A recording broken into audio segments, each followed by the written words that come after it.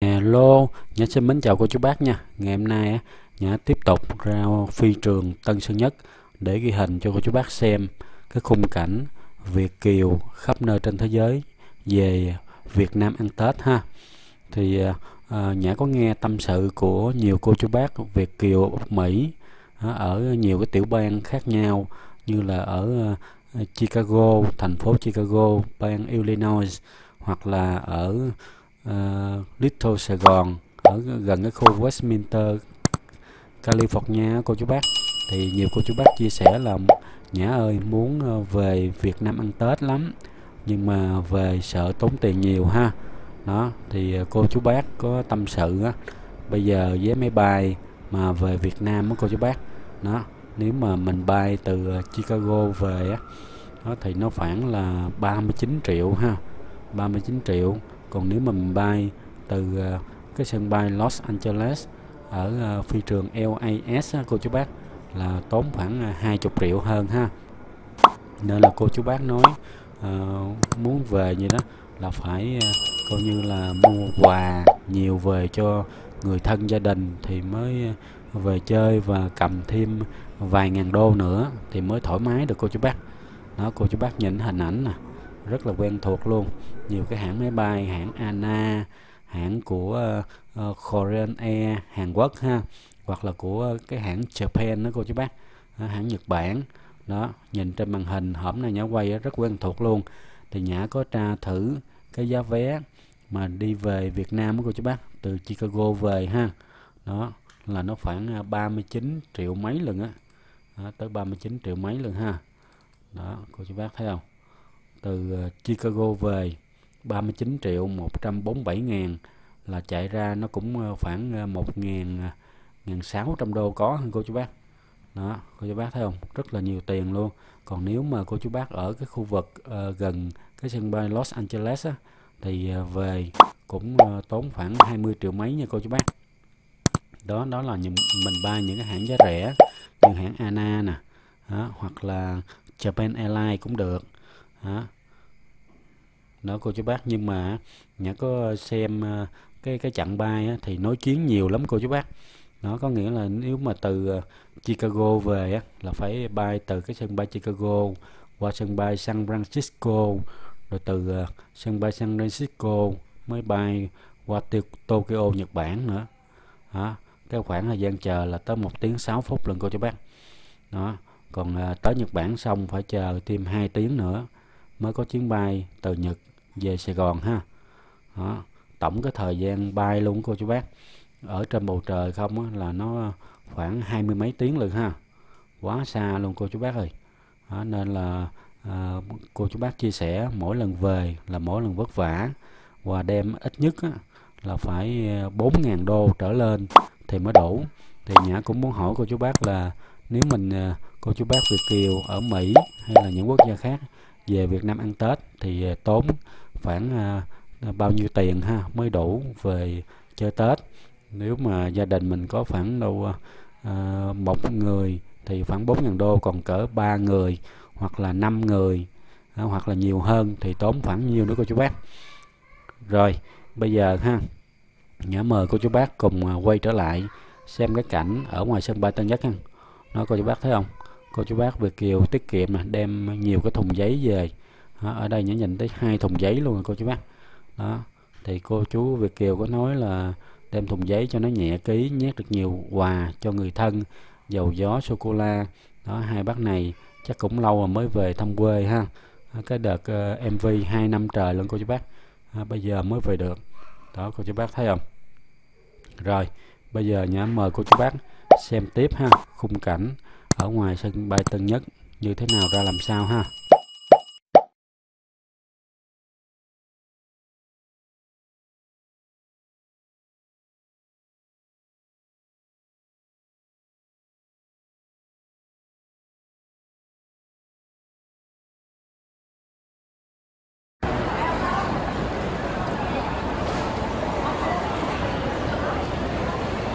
tới rồi sắp tới rồi hồng giấy việt nam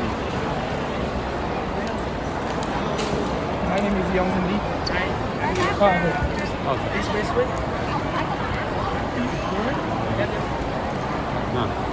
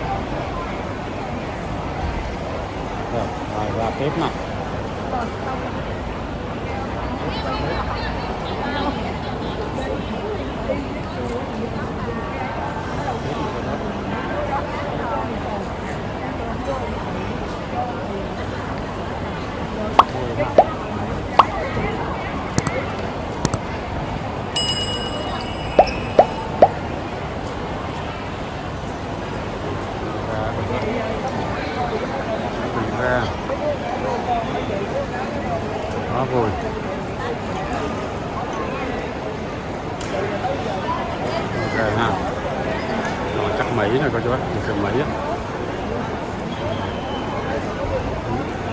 Mỹ.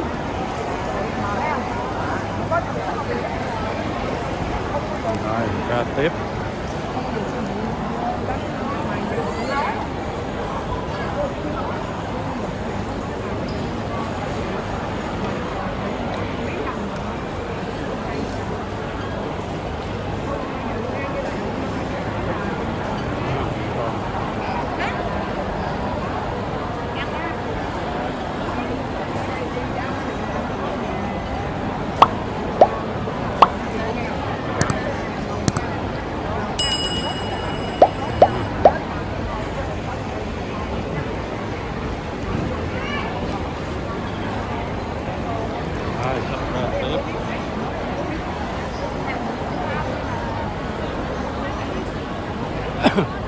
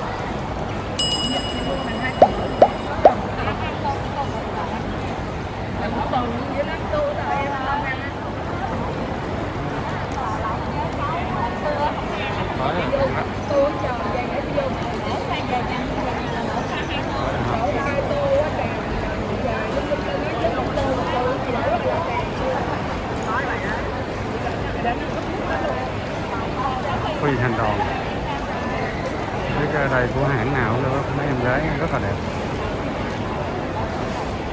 Em gái rất là đẹp ha. Còn là sắt nè rước sắt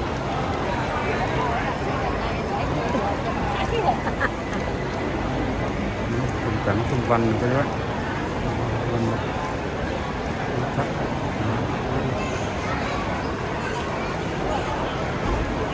cảnh xung quanh.